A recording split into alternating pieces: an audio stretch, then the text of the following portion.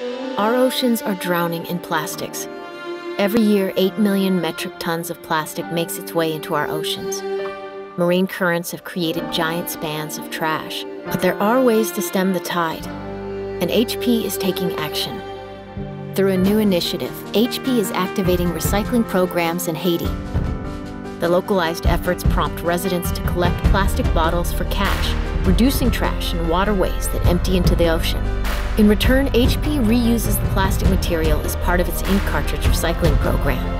Discarded plastic bottles are removed and reused before they pollute beaches and oceans for decades. The outcome is remarkable. More money for people in need of stability, less plastic for oceans in need of help. Ultimately, HP creates social and environmental impact that benefits all of us. A ripple effect that is felt in our oceans, our lives, and in our future.